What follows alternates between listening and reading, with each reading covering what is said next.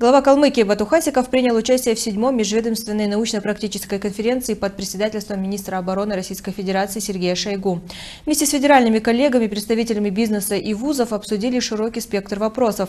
В их числе сохранение исторической памяти о Второй мировой войне и обеспечение обороны России, поделился глава региона. Также он отметил, особое внимание уделили межведомственным отношениям.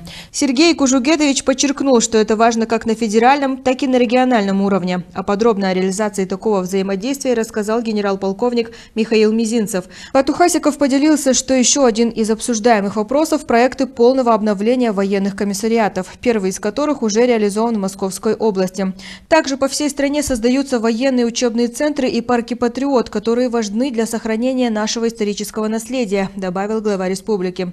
В завершение глава Калмыкии отметил, убежден, что роль информационного сотрудничества и взаимодействия в работе по обеспечению обороны страны огромна.